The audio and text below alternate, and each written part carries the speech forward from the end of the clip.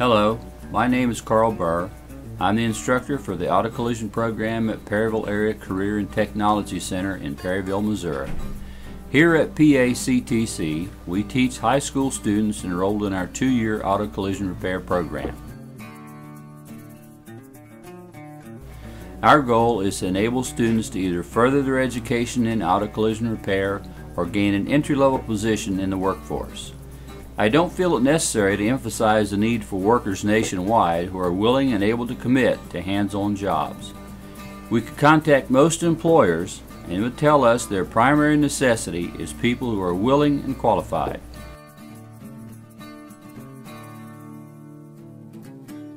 For the most part, these employers are prepared to train new employees and in fact do have some type of ongoing educational program in place.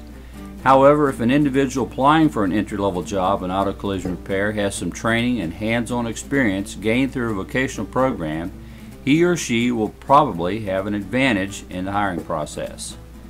Funding education in any technological environment is becoming more difficult to secure, particularly in public education. So funding for education becomes less attainable, yet the need for qualified, educated, entry-level employees is ever so important.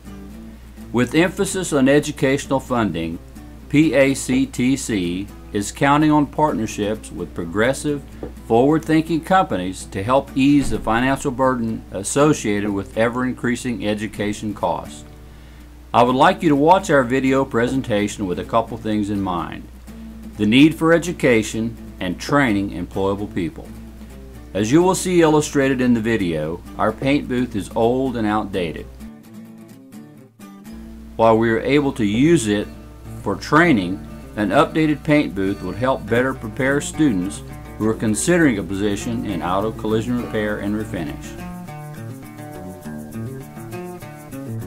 From our students, educators, and administrators at Perryville Area Career and Technology Center, thank you for your consideration and please enjoy our video presentation.